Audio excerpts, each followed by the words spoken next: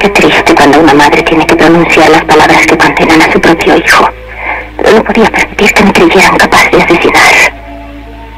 Ahora lo encerrarán, como yo debí hacerlo hace años. Siempre fue malo. Y al final pensaba decirles que yo maté a esas mujeres y a ese hombre. Como si yo solo pudiera estar sentada mirando como uno de sus pájaros disecados. Ahora saben que yo no puedo mover ni un dedo. Y no lo haré.